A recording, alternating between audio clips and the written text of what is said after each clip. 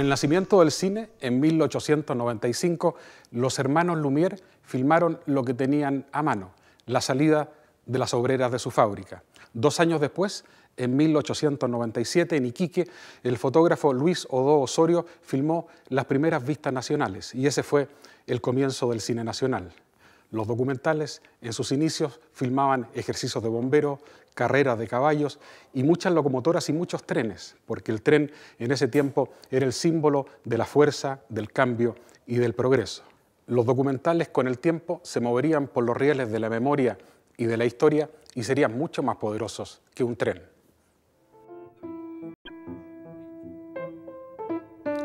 En el año 1895, en la ciudad de París, los hermanos Augusto y Luis Lumière proyectan ante un público deslumbrado las primeras imágenes en movimiento de la historia. Eh, ellos eh, dan cuenta de lo que está ocurriendo en la vida real. Cuando ellos hacen la llegada del tren a la estación, eh, es la estación de verdad y la señora que se baja del tren es la madre de ellos.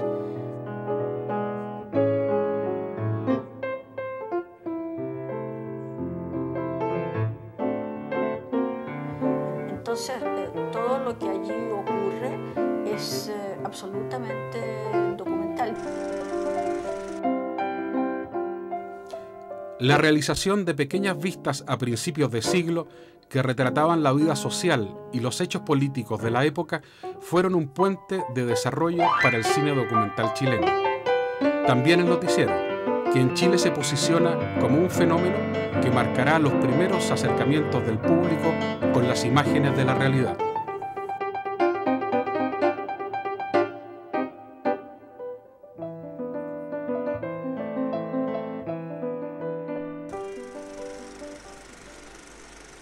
La aparición en el medio nacional del fotógrafo italiano Salvador Giambastiani sería un hecho decisivo para el cine documental chileno, ya que con su documental Recuerdos del mineral El Teniente introduce un elemento clave para el avance del género, el punto de vista.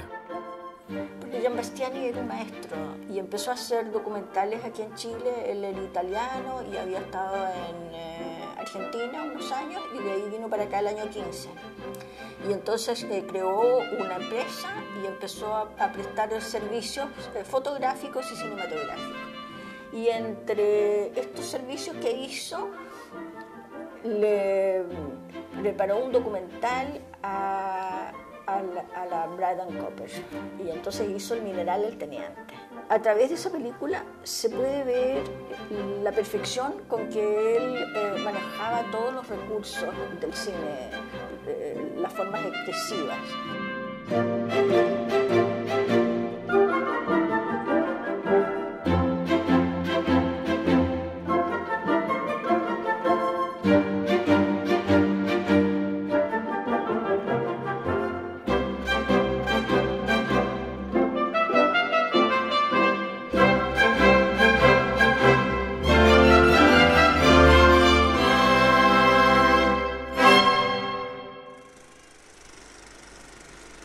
Toda esa filmación o la mayor parte están perdidas, ¿no? Entre perdidas y también destruidas, en el fondo, porque también una parte de la, Cineteca de la Universidad de Chile, cuando estuvo en la época de la dictadura, se perdió mucho material ahí. Chile Film también perdió mucho material porque además se vendió después, y tú sabes que se quemó una parte, aunque había respaldo de eso, pero indudablemente el material se perdió. Fíjate que hay una anécdota que interesante. Eh, Buceño, quien fue quien se hizo cargo finalmente de, la herencia que dejó Gambiastiani, eh, su empresa, cuando él también muere, eh, fallece trágicamente, eh, la productora de film con la cual trabajaba y, todo esto, eh, quedó botada. Y la deuda finalmente hizo que el, dueño del espacio le pidiera o que dejara en el, lugar. Y que es patético, porque finalmente desalojan la, productora y dejan todo el material filmado por Gambiastiani, por Bucenio, en la calle. Lo votaron. Entonces, cuando provocó tal impacto... Y Bastián y Bucina de alguna forma son forjadores... Son forjadores, sí, indudablemente. Del documental. Del documental en Chile, sí. Cristian, ¿por qué hay una persistencia en los chilenos de, borrar la memoria?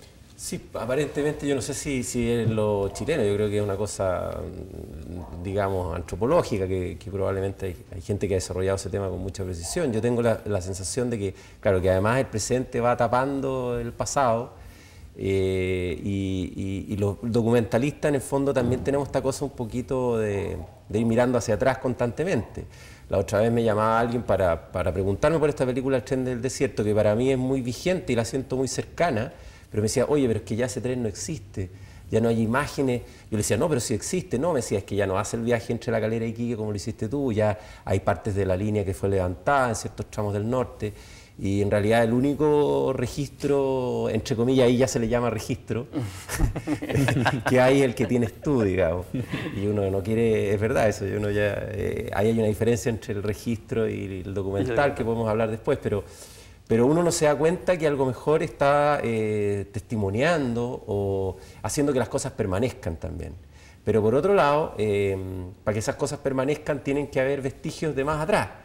Entonces como una especie de cadena hacia atrás en el tiempo, porque es verdad que siempre la gente guarda algo, o sea, siempre hay rastros, vestigios, ¿ah? como las películas policiales.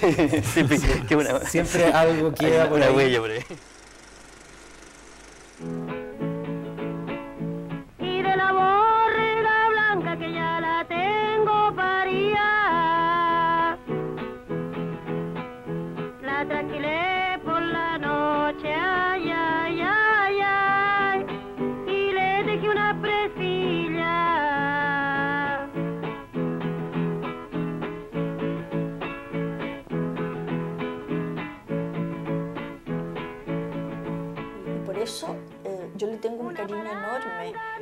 Género documental porque es capaz de conmover, es, entregarle a la persona que lo está viendo una prueba. Lo que usted está viendo es absolutamente de verdad. El maestro holandés Joris Ivens vino a Chile invitado por el Centro de Cine Experimental de la Universidad de Chile. Y el resultado final fue la realización del documental A Valparaíso. en algún momento fue invitado a, mostrar sus películas. La verdad es que no sé exactamente cuál fue el, mecanismo que, permitió que él llegara la primera vez. El hecho es que ahí organizamos una retrospectiva de él, en fin. Y se maravilló con Valparaíso. Hacia abajo, hacia arriba, hacia arriba, hacia abajo, hacia arriba. Tiene una pierna para subir. 121 grados él lo sabe, Él las cuenta. Es necesario tener coraje y también buena memoria. La rampa desciende diez veces más rápido que la escalera. El descenso va diez veces más rápido que la subida. Se baja con risa. Se sube sofocándose. Es gracioso, es fatigoso, es abominable, alegre, inhumano, solemne, ridículo, extraño. Eh, creo que el Instituto Fílmico estuvo más orientado hacia la capacitación de técnicos. Ese era el objetivo. Creo que en el Centro Experimental de la Universidad de Chile se puso mucho más el énfasis en la creatividad. Yo, tuve la suerte de, trabajar con Alicia Vega en el libro Revisión del Cine Chileno. Bueno, y vimos muchas entonces, muchas películas, muchos documentales. Y, eh, y yo recuerdo una, es una de Sergio Bravo que se llama Láminas de Almagüe que es un, documental precioso, eh, donde trabaja la imagen y, aparece también una película que, es al mismo tiempo conceptual y también es poética. Uno piensa en los años 50, efectivamente se, filmaban las injusticias sociales, el país sin equidad alguna, la pobreza, las callampas, el primero, lo primero que hace Rafael Sánchez y también eh, Sergio Bravo filma La Trilla, ¿no verdad? Esta cosa también colectiva, ¿no? Entonces, de alguna forma, eh, son cineastas que filman ese proceso y que luego lo acompañan. ¿Ah? En el sentido que Litín va a filmar Compañero Presidente, que Patricio Guzmán va a filmar el primer año, y de alguna forma después también filman La Caída. Entonces uno de pronto dice que durante 25 años se estuvo filmando solo una película, digamos. ¿no? Eso, Cristian, ¿tú qué piensas de eso? Sí, yo creo que hay algo de, bueno, el discurso social y toda la conciencia social de esos años, bueno, era una cosa muy evidente y mm, yo creo que lo sigue siendo, ¿ah? Yo creo que no es que el cine político, entre comillas, haya desaparecido. Lo que pasa es que eh, cambió quizá algo que tiene que ver más con, una cosa, digamos, que tiene que vinculada a la verdad, digamos. O sea, se filma algo vinculado a la verdad histórica y, a las utopías y a la ideología y a cómo era visto el mundo en esa época. Que viva la directiva, que son gallos de pelea que viva la directiva, que son gallos de pelea. Estudio, trabajo, fusil debajo el brazo. Estudio, trabajo, fusil debajo el brazo. Eh, la gravitación que tiene la política, no solo sobre el documental, sino diría sobre el arte. El cine de ficción se ha independizado un poco de la política. La idea de que el cineasta, y sobre todo el cineasta documentalista, tiene una responsabilidad social. Claro, las películas de, Carlos Flores, de Pedro Chasquel, de Héctor Ríos, de, Sergio Bravo eran mucho más interesantes porque eran vitales. No, tenían, no seguían ninguna de las enseñanzas de los libros de, Rafael Sánchez, pero eran películas completamente vitales, llenas de, eh, imágenes de lo que es este país, de la violencia y también películas poética. Yo creo que la juventud es el lugar de la felicidad. Es que el, el, individuo es feliz, toda felicidad, que la felicidad es las cosas verdaderas. Yo voy a ser feliz yendo a la fiesta. Es que encuentro, por ejemplo, mucho mejor me entendí que protesten cantarme que... Lo que yo, lo que yo diría es que la, la juventud fuera más abierta. Mira, yo diría que el documental chileno tiene dos influencias esenciales. Eh, el documental cubano, Santiago Álvarez, más claramente, y eh, eh, Julio García Espinosa, yo diría, más, más en lo teórico que, en el cine propiamente, y eh, el documental argentino Solana y Getino. Son como, son como un detonante, porque una vez se da cuenta que el cine político puede tener montaje, que puede tener juego de banda sonora,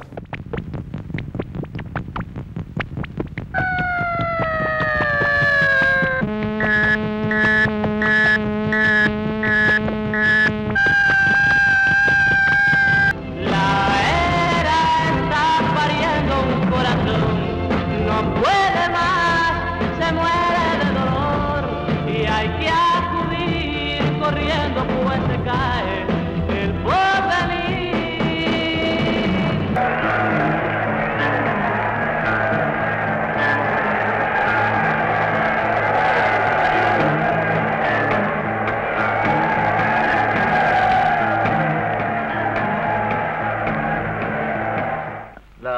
Gente ve en esa juventud, cree que todos somos iguales. Y no, es que hay juventud trabajadora y la otra que saca la vuelta no va.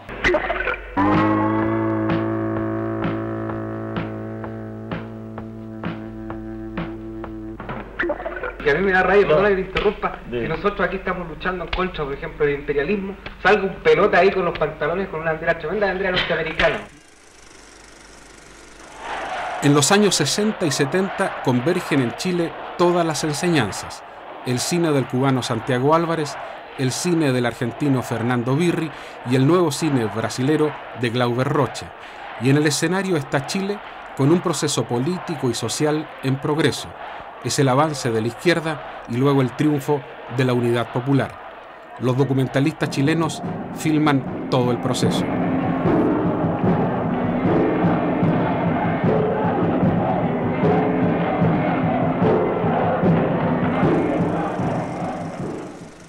Hegemonía de la política sobre el arte es como, como la hegemonía del poder sobre la experimentación.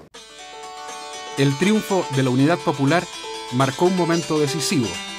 Los documentalistas asumieron la tarea de filmar la revolución.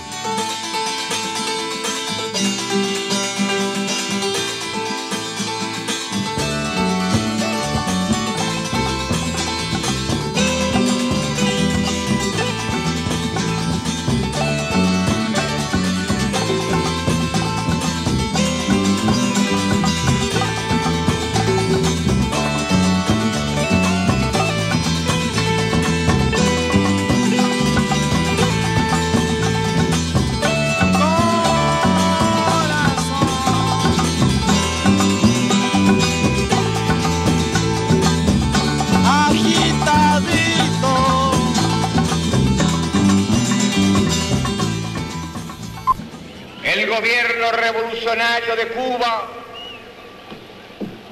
ha honrado a Chile en mi persona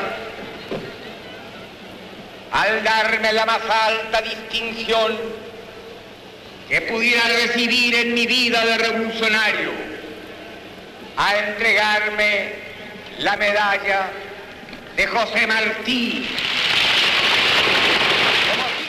Pero vendría un hecho que cambiaría la historia de la sociedad y el cine chileno para siempre. Algunas informaciones de un fotógrafo o camarógrafo, no estamos seguros, que murió frente al Club de la Unión hace pocos minutos. Los documentalistas chilenos, ahora en el exilio, filmaron la derrota y caída de Allende y la Unidad Popular. La película Catedral es la batalla de Chile de Patricio Guzmán, casi cinco horas y una trilogía, la insurrección de la burguesía, el golpe de Estado y el poder popular. Lo que estaba pasando afuera no sabemos lo que era. Están disparando, no, no sabíamos. eh, Yo creo que, que como todas las cosas eh, se crean mitologías y ya hay gente que ayuda a que se creen mitologías. Yo, pienso que, que, que Guzmán hizo un- una tremenda colaboración. No sé cuánto esa colaboración es... eh, aquí no se puede hablar de utilidad, pero cuánto representa o nos representa o me representa a mí verdaderamente o a los chilenos en relación a uno de los acontecimientos más cruciales y más importantes eh, chilenos del siglo XX. El documental quizás como madre, así, después de los años 70, es la batalla de Chile de Patricio Guzmán, ¿no? Yo Ah, no sí. sé si se puede decir eso. Sí, sí, sí. Es que a mí es que la batalla de Chile tiene, eh, yo creo que eh, esto de, de- de filmar un proceso que se está viviendo, y a mí me queda tan impactado porque cuando uno termina de ver la- la- los tres capítulos, eh, en realidad lo que hizo Patricio Guzmán fue filmar cómo eh, la oligarquía chilena se organiza para dar un golpe de Estado.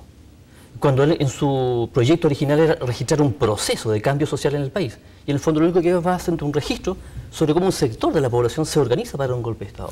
De hecho, él había filmado una película que se llamaba El primer año. Esta originalmente iba a ser, en verdad, el tercer año. Y en vista de los sucesos, finalmente es la trilogía. Es la trilogía, claro. Si el protagonista de toda esta historia, que es Salvador Allende, no hubiera dicho en documentales anteriores que a él lo iban a sacar muerto de la moneda, ¿la batalla de Chile habría tenido el mismo efecto? Sin la muerte del protagonista, sin que se cumpliera su profecía. Probablemente no. Claro, yo creo que ahí hay algo a lo mejor eh, que, es interesante, porque esto que hemos estado diciendo, que el, documentalista siempre mira hacia el pasado, trata de buscar, mira hacia atrás, qué sé yo, pero también avisora hacia adelante eh, y, y a lo mejor eh, intuye cosas. La juventud de nosotros pasó en el Bosco, oye, con toda la generación del 50 era, era como el centro, el hervidero, en la noche hasta tardísimo, hasta qué sé yo, aquí debe haber sido el Bosco, oye. El Bosco está aquí, todavía está el Bosco. ¿Eh? Y qué sé yo, el- el- el, eh, todos los grupos de gente que se, que se juntaban aquí en la noche, que, que- que- bebíamos hasta tarde, vinito, las peleas, Mario Rivas, la María Elena Gertner, eh, eh, que, que señor Flaco Lin, to- toda esa gente, todo el grupo ese, eh, Perico Müller, las peleas de mi hermano, que era, que matonado con Arturo Scroy, que venían a pelear ahí al bosque a meter pelotera, pero eso era, era era muy importante, pues fue, fue como el centro de operaciones en una época. Dígame cuál es la finalidad y el objetivo de esta marcha. Mostrar que somos más y que estamos por la unidad y la solidaridad Pero si eso es entre los conocido, chilenos. seguramente todos ustedes saben y el resto lo sabe. ¿Para qué lo van a demostrar? Le ha permitido hasta aquí, pero de aquí ¿Qué razón hay para que no nos permitirnos caminar unas no cuadras es más? común, esto no puede ser. Bueno, en la década de los 80 era, era, era eh, mira, había una sola cosa que era la dictadura. Y, y- y no había cómo, no había, no había posibilidad de hacer ninguna otra cosa si, no- si no era en torno a deshacerse de ella para poder eh, eh, eh, estar tranquilo y moverse por la calle. ¿no? Incluso no se podía pensar uno en, en ser cineasta con la dictadura. Nada era posible con la dictadura. Se empezaron a hacer películas aquí a finales de los años 70. A pesar de que andar con una cámara en la calle era un delito, o sea, tú te veían con una cámara y te llevan preso.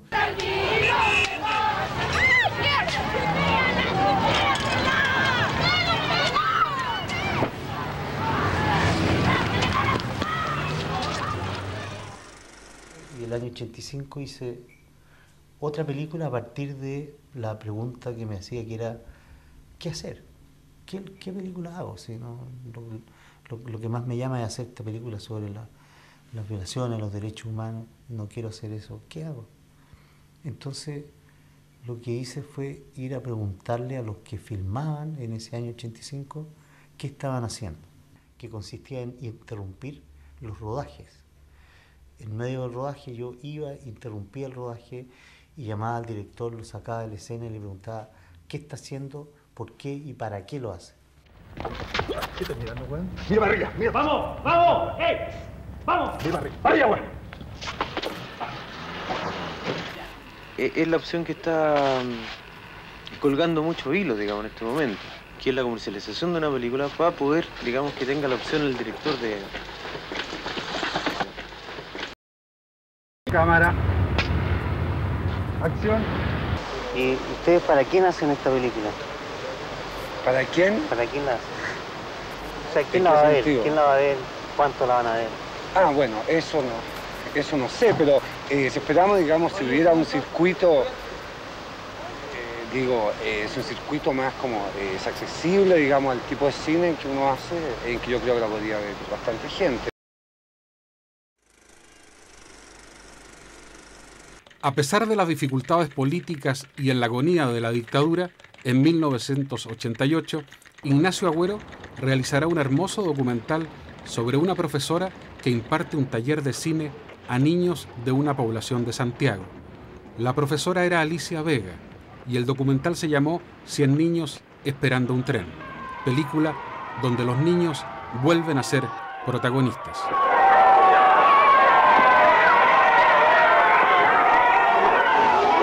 Nos interesa mucho que ustedes pongan si han ido alguna vez al cine, pero si han ido a un cine, ¿ah? Eh, a una parte, a un teatro donde ven películas. Si han ido a un cine, que anoten la película que vieron, si se acuerdan. Yo hacía, eh, desde hacía dos años, el taller de cine para niños en poblaciones de Santiago. Ignacio Agüero conoció esto porque yo le pedí que para la exposición final de los niños, él me fuera a filmar un testimonio. Eh, habían ahí unos galpones de la parroquia, pero enormes, y estaban todos forrados desde el piso hasta el cielo eh, con trabajos hechos por los niños. Eh, cuando yo vi ese material que, que, que filmé ahí y, y vi el, el- el caballito del, del zootropo en movimiento hecho mover por los niños, eh, me pareció que era una idea, pero buenísima para una película. Entonces, en el taller siguiente eh, hice la película. Entonces empezaron a estudiar y hacer experimentos y en estos experimentos llegaron a descubrir algo del ojo humano. Cuando uno eh, le pasa una imagen frente a los ojos, la sigue viendo durante un momentito. ¡Ah! ¡Ya sé! Se ve como el estuviera en la jaula.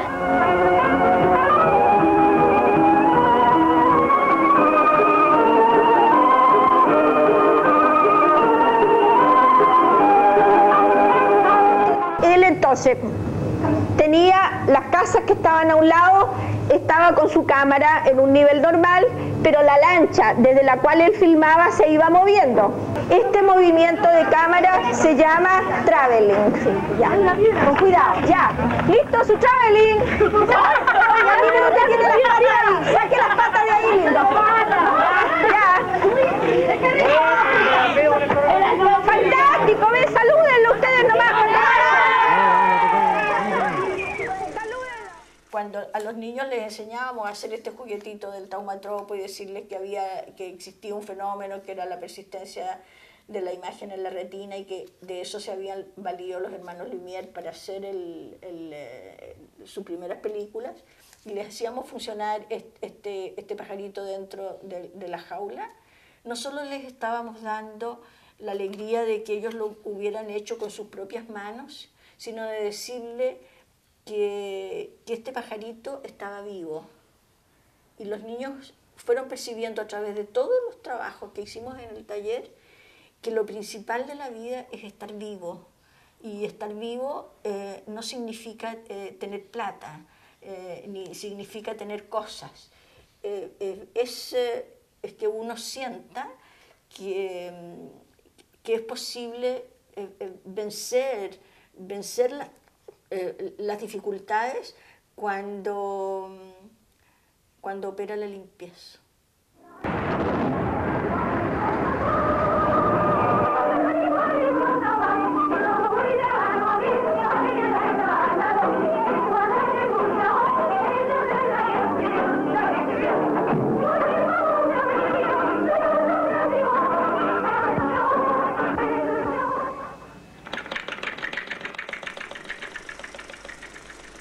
Los documentales tienen una dificultad en cuanto a ser exhibidos, ¿no?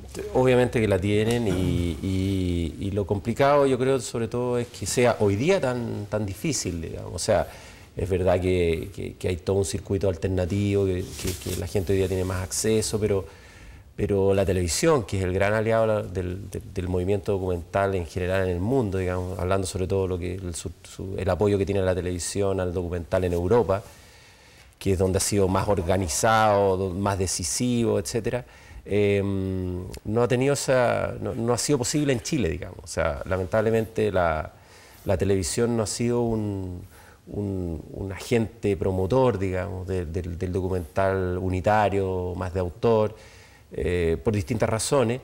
Y eso es lamentable porque le ha impedido el acceso a, a mucha gente por estas películas. Y, eh, entendiendo el valor que tiene la experiencia cinematográfica en una sala oscura y lo que sabemos la experiencia cinematográfica. Pero, pero la televisión podría ayudar muchísimo a eso. Aquí yo llegué a trabajar en mecánica. Tendría más o menos unos 15 años. Trabajaba como hacer mandado. Era un servicio autorizado Fiat. Un 10 meses trabajé yo aquí. Y de ahí me despidieron por eh, reducción de personal un amigo me, consiguió una pega en Radiadores Gallardo, pero no, me gustaba mucho, porque a mí me gustaba la mecánica. Desde chico creo que yo le decía a mi mami que, cuando grande yo quería ser mecánico. Y ahí me, echaron de Gallardo porque no uno de los maestros está hacer la soldadura y, por uno lo, lo a todos. Este país de mierda no va a dejar tranquilo. A mí no me enfoque, ¿eh? No hay derecho gente de mierda que por ganar unos pesos más, la mugre que no en las casas y no se puede ni siquiera trabajar con ruido, con tonteras. Una mierda. mierda. Nadie reclame, nadie haga nada.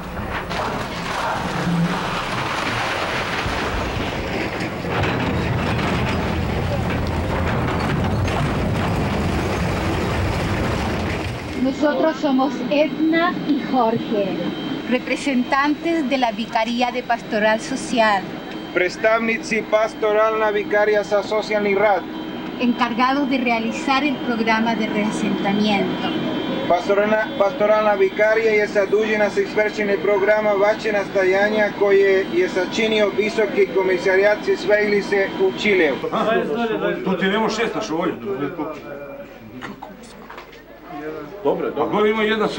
šesta šovolja.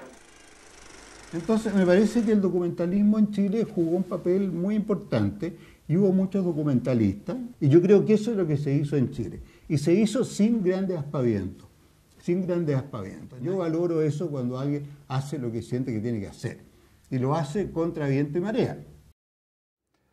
Durante más de un siglo los documentales han filmado con dolor con alegría y con entusiasmo el nombre de Chile, con directores que han registrado y también interpretado la realidad del país. El documental es un género que tiene pasado, que tiene mitos, leyendas, también héroes, santos y mártires. Por eso quizás es un género tan rico y extendido. Y como dijo Patricio Guzmán, un país sin documentales es como una familia sin álbum de fotografías.